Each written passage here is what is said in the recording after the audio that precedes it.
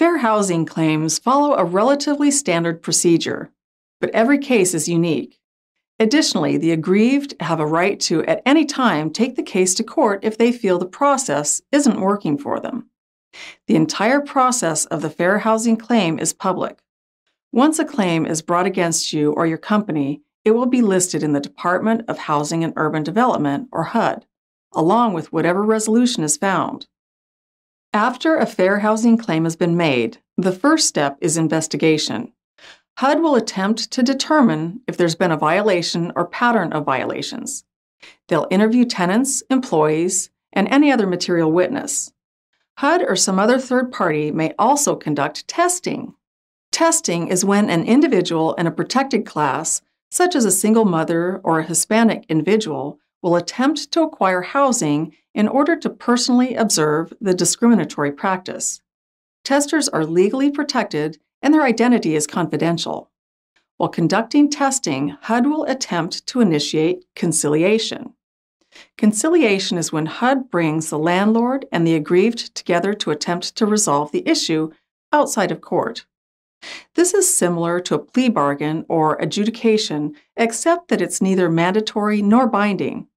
If a problem is resolved to everyone's satisfaction during conciliation, then the matter will be closed. If one party violates the conciliatory agreement, then it will be usually taken as conclusive evidence that they were in the wrong.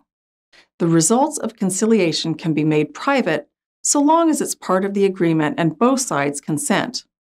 In general, it's much cheaper to agree to conciliation than to go to court. Once the investigation is complete, the department will issue a determination on whether housing discrimination exists or not. If the department believes that the landlord has committed or is about to commit an act which violates fair housing law, then HUD will file charges against the landlord. After filing charges, the claim will be heard in one of two courts.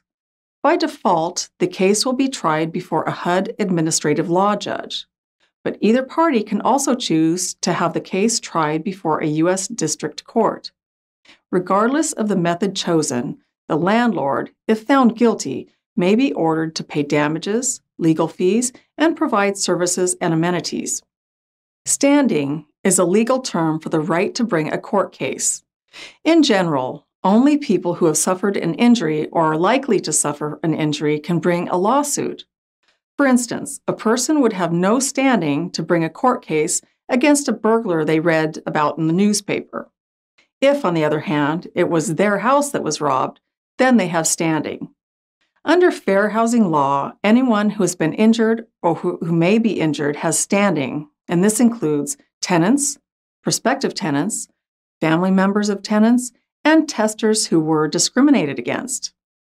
It can even include tenants who didn't experience discrimination but feel damaged due to the discrimination. For instance, a Latino tenant is rejected for housing based on their race. A white tenant in the neighborhood could sue because they're being denied the right to live in the integrated community. Their reputation could be harmed by being associated with discriminatory housing practices. If a claim is brought against you, there are some steps you must take. In most cases, you'll want to seek legal counsel as early as possible. Any missteps made during the process could make you appear guilty, even if you're not. The first step is to ensure that there's absolutely no retaliation against the person making the complaint. Employees may feel personally insulted and want to give poor service or kick the tenant out. This cannot be done, as that is in itself a violation of fair housing law. You should let any affected persons, like office staff and the owner, know about the allegations. You'll then need to develop a public position. You should determine one or two people to be spokespersons in case the media contacts you. These people should have a strong understanding of your public position. The public position shouldn't be as simple as no comment. Regardless of what the administrative findings are, you'll be tried first by public opinion. For this reason, you'll need to make sure that you have a strong defense plan if the matter becomes news. You need to gather all evidence and be ready to turn it over to HUD investigators. Trying to interfere with the investigation carries up to a $100,000 federal fine. Be polite, respectful, and attentive. If there's any merit to the complaint, then you should do whatever is necessary to correct the problem. If you have an employee who is engaged in discriminatory practices, then you should reprimand or terminate them. If you have a rule that is discriminatory, then you should look at changing the rule. Any action you take to alleviate the problem will be taken as evidence that the violation wasn't willful. This can help you in court.